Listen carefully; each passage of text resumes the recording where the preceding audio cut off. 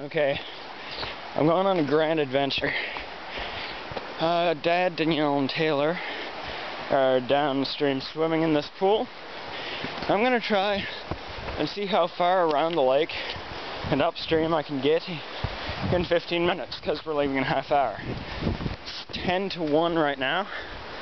10 to 1 and or 10 to 2 and 20 after I have to be back or just after I don't know may take longer to get back than to get there.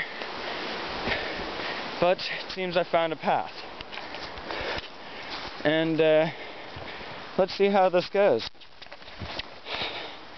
Signing off.